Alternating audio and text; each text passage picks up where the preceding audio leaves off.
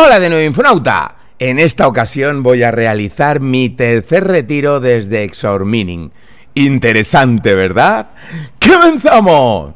Bueno, en primer lugar, como siempre, recuerda que te dejo todos los enlaces en la descripción de este vídeo y no olvides que este vídeo no es una recomendación de inversión, tenlo en cuenta.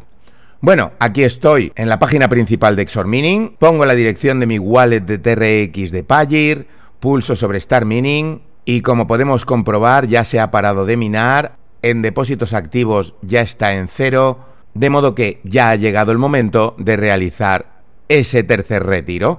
Para ello voy a venir a Withdraw, antes de realizarlo voy a venir a Pagir, voy a bajar hasta los TRX para ver que mi balance actual es de 405 Tron. Vuelvo a Exor Mining, pongo la cantidad total de TRX que tengo sin contar con los decimales, Recuerda que esto me va a cobrar una comisión del 4% más 25 céntimos de TRX. Estoy de acuerdo, así que le voy a dar a Withdraw Money. Ya está, aquí abajo me está diciendo que mi retiro se está procesando.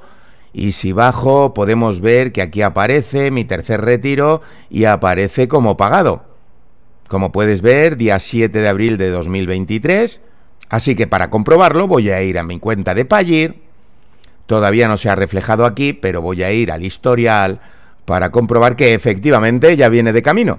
338,63 TRX. Así que como está ahora mismo en pendiente o en revisión, voy a cortar aquí el vídeo y continúo en un par de minutos.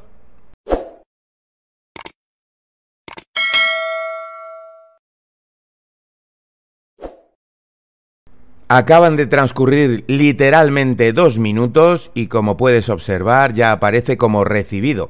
De modo que si voy ahora a mi balance y bajo, en estos momentos tengo 743 TRX en mi cuenta. Es decir, que Exor Mining sigue funcionando perfectamente tras el tercer retiro. De modo que voy a ir a mi dashboard y voy a realizar otro depósito de 200 TRX. Para ello voy a venir a Investment, voy a poner la potencia de 200 gigahashes por segundo, lo que son 200 TRX, pulso en Deposit Now, me da la dirección con su QR, yo selecciono la dirección, la copio, voy a mi balance de Pagir y sobre el botón de Withdraw en los TRX pulso pego la dirección donde tengo que hacer el depósito y en cantidad pongo 200. Esto me va a costar 202, estoy de acuerdo, pulso en Send. Ya he enviado ese dinero, de modo que voy a ir al historial y como podemos ver aparece aquí como en pendiente o en revisión.